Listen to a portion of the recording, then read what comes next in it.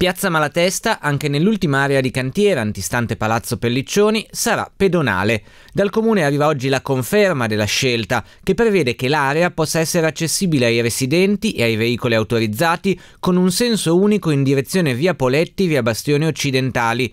Consentito, in base alla cartellonistica, anche il carico-scarico per 20 minuti, oltre all'accesso dei mezzi di sicurezza definitivamente accantonata l'ipotesi inizialmente prevista di consentire l'accesso anche ai non residenti, quantomeno in alcune fasce orarie. Confermata invece la decisione di vietare la svolta a destra su Piazza Malatesta a chi proviene da via Bonsi. I lavori, informa l'amministrazione, sono in fase di completamento e sono l'ultimo atto della riqualificazione della piazza, spazio urbano di oltre 11.000 metri con verde e installazioni dal sapore felliniano che connette gli altri due assi del Museo Fellini, il Palazzo Valloni e Castel Sismondo.